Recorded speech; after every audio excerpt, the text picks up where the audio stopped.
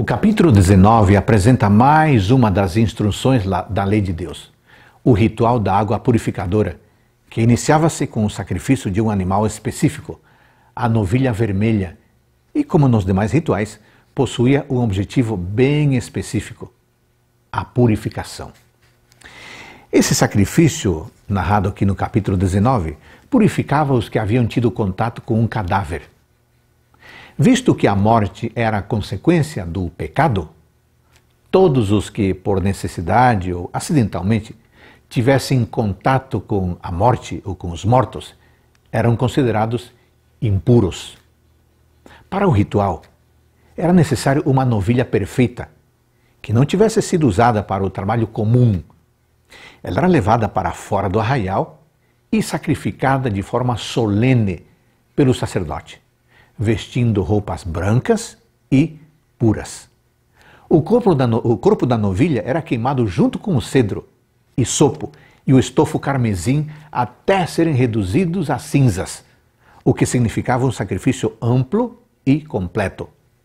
Por fim, essas cinzas eram recolhidas por uma outra pessoa e colocadas em um vaso limpo, junto com água que o guardava fora do arraial.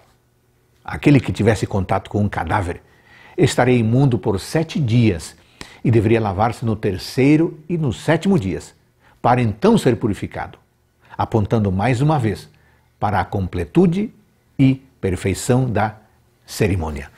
Amigos, todos esses detalhes prenunciaram a obra expiatória de Jesus Cristo e possuem um profundo significado para nós hoje desde a escolha da novilha sem máculas, assim como Cristo, que se entrega de forma perfeita e voluntária para salvar os, o, o pobre pecador, até os ingredientes da purificação, com uma clara ligação ao sangue de Cristo que purifica, além de toda a linguagem que representava a completude da redenção no sacrifício de Jesus Cristo na cruz do Calvário. Santidade e impureza são coisas incompatíveis. É impossível ser santo e imundo ao mesmo tempo. Cristo, a água da vida, a água viva, está ao alcance de todos os que clamarem pela pureza. É só Ele que limpa os nossos corações e nos purifica de toda a raiz do pecado.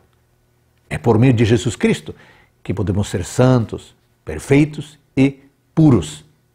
Pelos méritos dele, podemos nos achegar ao trono da graça do Pai. Que privilégio, que bênção. Eu desejo a você e a sua família um excelente dia.